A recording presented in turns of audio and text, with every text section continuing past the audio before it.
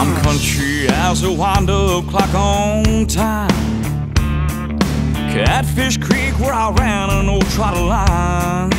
Welcome to Hard Hats. I'm Dan Guindon. Brian Gurry. Dan Guindon. Brian Gurry. Dan Guindon. Unhappy Brian Gurry. Very unhappy. Dan Guindon. Brian Gurry. Hey, you're getting good at that. I saying you am. did. Yeah, I'm a little good, a little bad, and everything in between. That's me, I'm a hundred and one with a gold tooth. I'm the kind of dude women can't hold on to. Yeah, I was People have no idea the headaches it takes to do a project this size. Long before we cut the little silly ribbon and we open it and people throw up the balloons and all that, there is so many things to go through. Safety checks, how-tos, the successes and the failures. You get to see it all. Well, I- I'll do the football. We need another guy on my team. These guys do this every day, and every day it's an argument. I never understand it. I think it's part of their trade. You just always argue with each other. We have concrete. There's everybody. Oh my God. We got concrete. I'm telling you, Martel, I need six more guys. I'll shut it down. Even with the insulation, it's just a. That made him walk away from me. That walking away was never good. This good-looking building has a flaw to it. We built it too high. No kidding. Ah, to the right is what the blueprints call for. Okay. To the left is what we built. Starbucks, new Starbucks. Ugly? Pretty.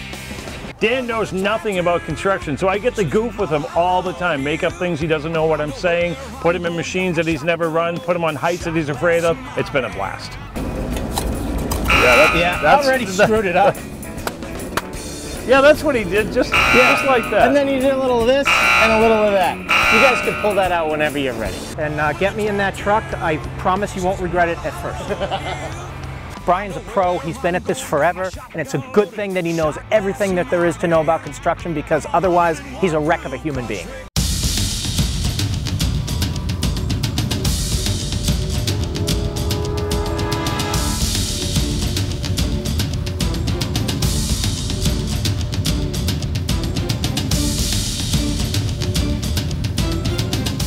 I bring it back down, it, it shifted just a little bit. So, first bathroom, it's windy as can be.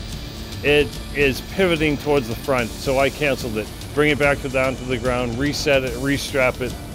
It's safety first. It weighs three to 5,000 pounds, so I'm just not gonna risk it. And I'm not that happy either.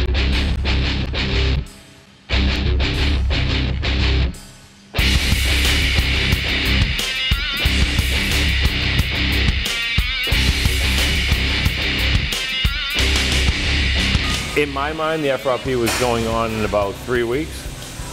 It's done. it's completely done. What does FRP stand for? What else do you want to see? Fruits rotted properly.